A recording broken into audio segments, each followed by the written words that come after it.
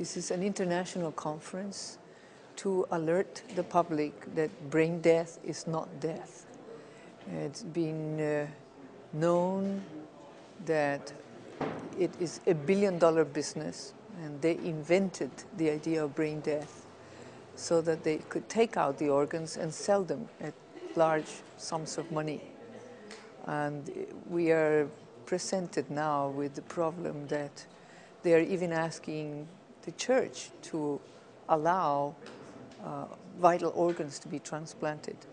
And it is uh, no different to killing through abortion in the mother's womb to killing when uh, a family has a family member who has had an accident and uh, they don't know that the person declared brain death by the surgeons who are going to perform the extraction of vital organs is because it's a big business. They, they sell the hearts and the, and the, liver and the pancreas for large sums of money.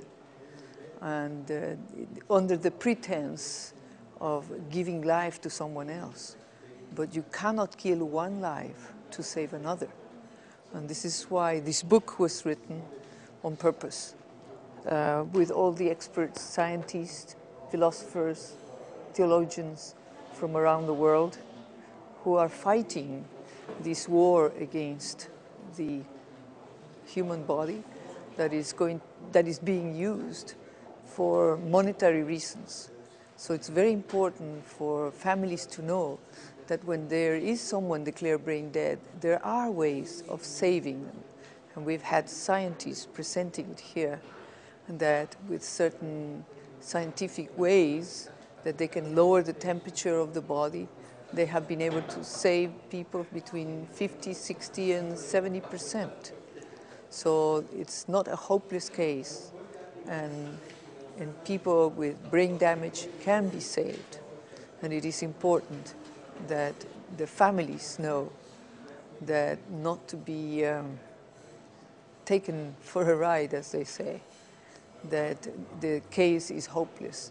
People have been saved with severe brain damage and uh, this is what this Congress is about. We also have brought experts from Canada, Dr. Andrew Armour, who presented beautifully and simply that the heart is the most important part of the body, that it has its own little brain, that when the heart speaks, the brain listens.